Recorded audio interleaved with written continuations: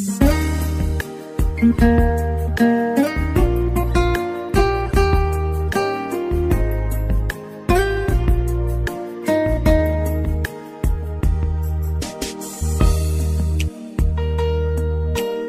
Vi Ký, chương 26 Phần thưởng cho người vâng lời.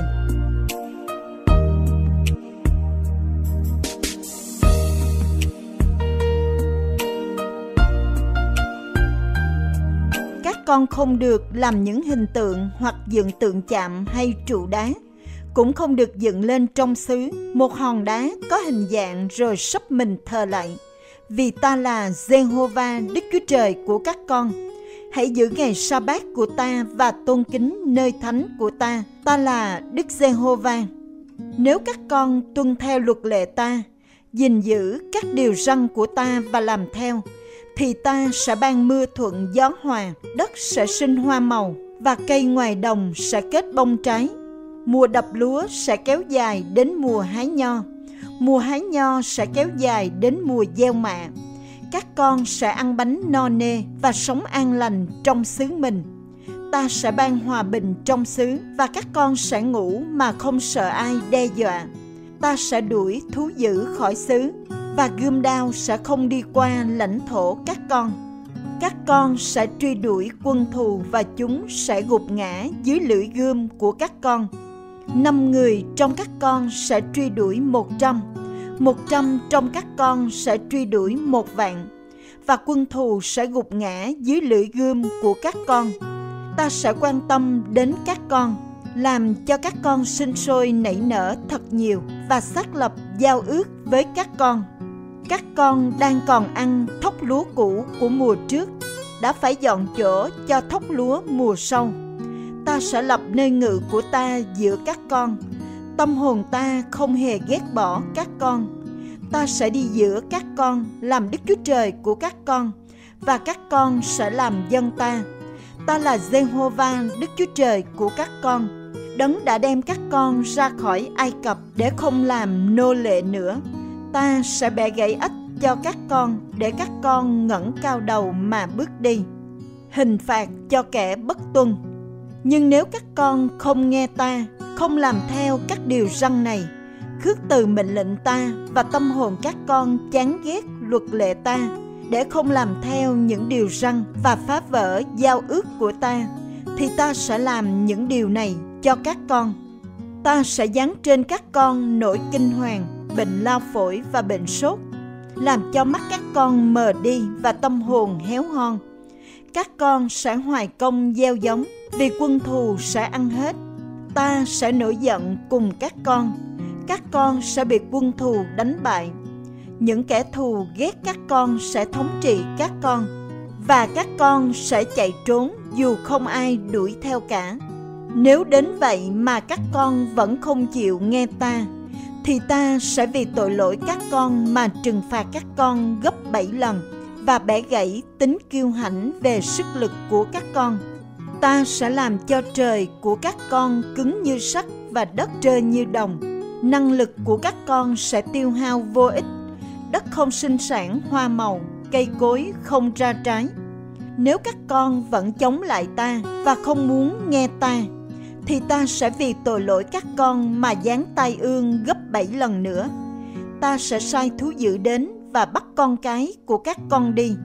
Tiêu diệt gia súc và làm cho dân số giảm xuống để đường xá trở nên hoang vắng.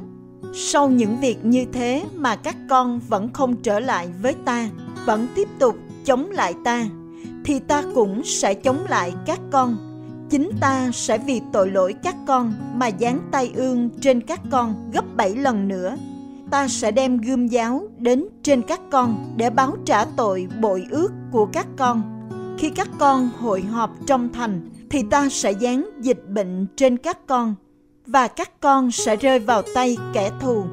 Khi ta cắt nguồn cung cấp lương thực, thì mười phụ nữ sẽ nướng bánh chung một cái lò và cân bánh chia phần. Các con sẽ ăn mà không no. Nếu đến mức đó mà các con vẫn không chịu nghe ta, cứ chống lại ta, thì ta sẽ phẫn nộ mà chống lại các con. Và vì tội lỗi các con, ta sẽ trừng phạt gấp bảy lần các con sẽ ăn thịt con trai con gái mình ta sẽ phá hủy những nơi cao của các con triệt hạ các bàn thờ sông hương và chất thay của các con trên thay của thần tượng mình. Tâm hồn ta sẽ ghê tởm các con. Ta sẽ làm cho thành của các con trở nên hoang vu. Các nơi thánh quạnh quẻ và ta sẽ không hưởng mùi hương từ tế lễ của các con nữa. Ta sẽ làm cho xứ sở điêu tàn. Đến nỗi kẻ thù của các con vào sống ở đó cũng phải sững sờ.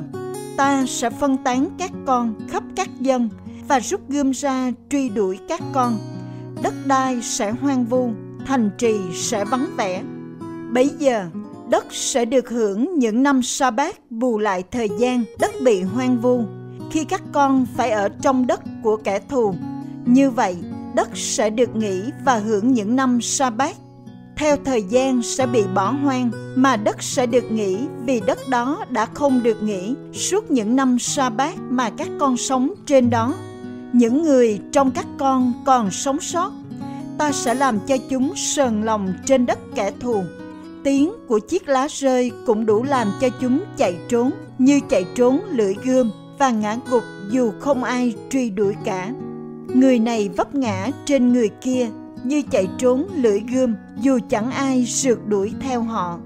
Các con không thể đương đầu với quân thù.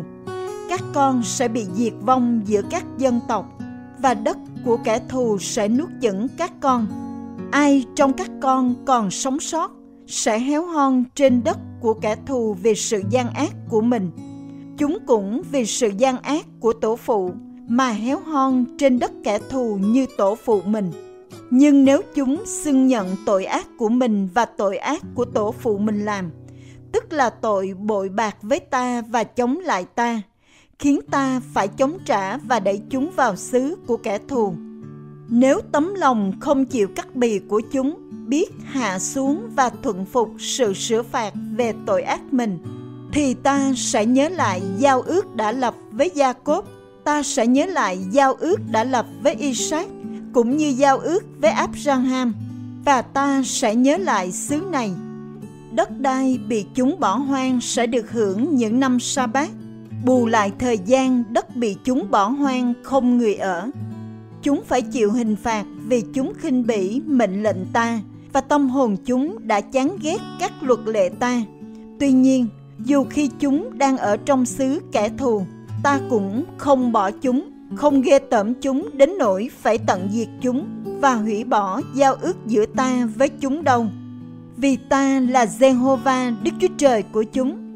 Nhưng vì chúng, ta sẽ nhớ lại giao ước đã lập với tổ phụ chúng là những người mà ta đã đem ra khỏi Ai Cập trước mắt các dân để làm Đức Chúa Trời của chúng. Ta là Đức Giê-hô-va đó là các luật lệ, mệnh lệnh và luật pháp mà Đức Giê-hô-va thiết lập giữa Ngài với con dân Israel trên núi Sinai qua Môi-se.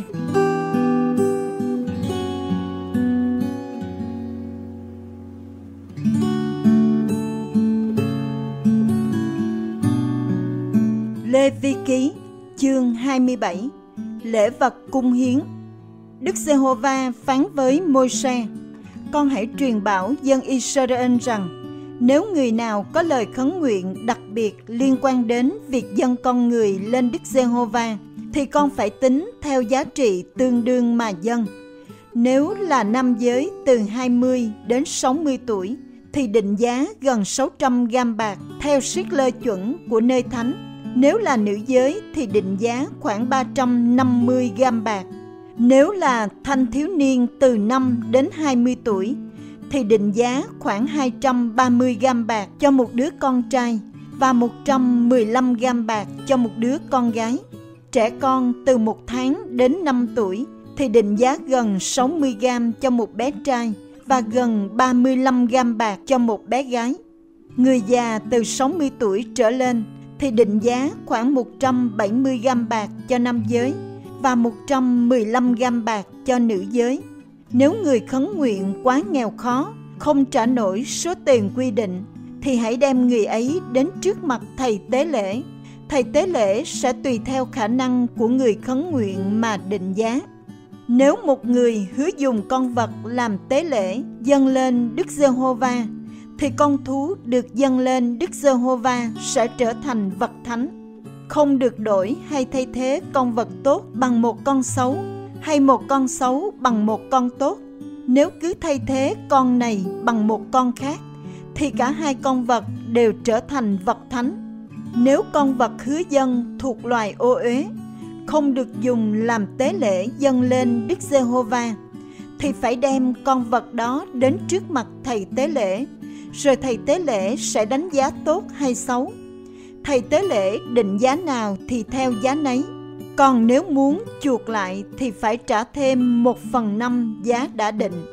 Nếu có người muốn hiến dân ngôi nhà mình làm vật thánh cho Đức Giê-hô-va, thì thầy tế lễ sẽ tùy theo nhà tốt hay xấu mà định giá thầy tế lễ định giá nào phải theo giá nấy. Còn nếu người đã hiến dân ngôi nhà đó muốn chuộc lại, thì phải trả thêm một phần năm giá đã định, và nhà sẽ thuộc về người ấy. Nếu ai hiến dân một phần đất của gia đình mình cho Đức Giê-hô-va, thì việc định giá phải dựa vào lượng hạt giống cần cho đất đó. Cứ khoảng 600 gam bạc cho 220 lít lúa mạch giống nếu cánh đồng được hiến dân từ năm hân hỷ thì vẫn theo giá đã định.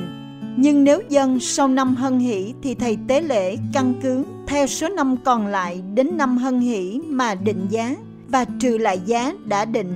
Nếu người đã hiến dân cánh đồng muốn chuộc lại thì phải trả thêm một phần năm giá đã định, rồi cánh đồng sẽ thuộc về người ấy. Còn nếu người ấy không muốn chuộc lại hoặc đã bán cánh đồng cho người khác thì không được chuộc lại nữa. Đến năm hân hỷ, cánh đồng ra khỏi tay chủ mua sẽ trở nên đất thánh vì đã được hiến dân lên Đức Giê-hô-va. Thầy tế lễ sẽ sở hữu cánh đồng đó.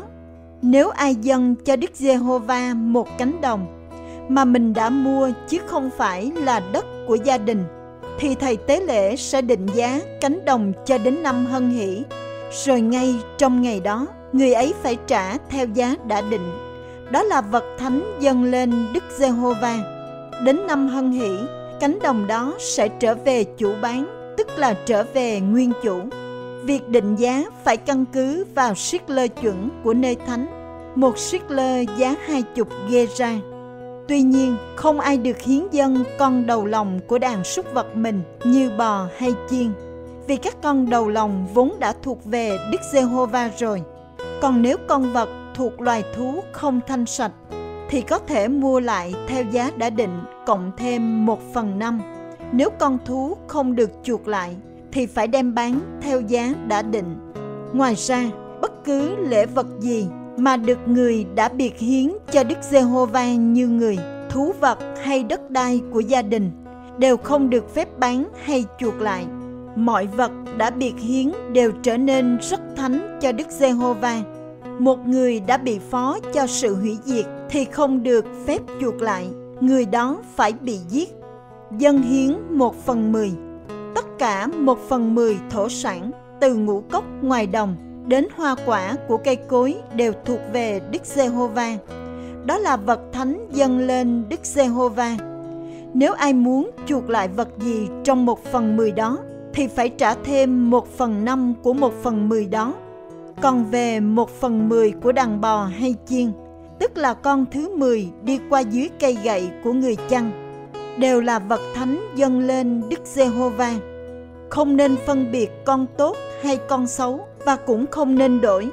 Nếu đổi thì con thú bị đổi và con đổi đều là vật thánh, không được chuộc lại. Đó là các mệnh lệnh mà Đức Giê-hô-va bảo Môi-se truyền lại cho dân Israel tại trên núi Sinai.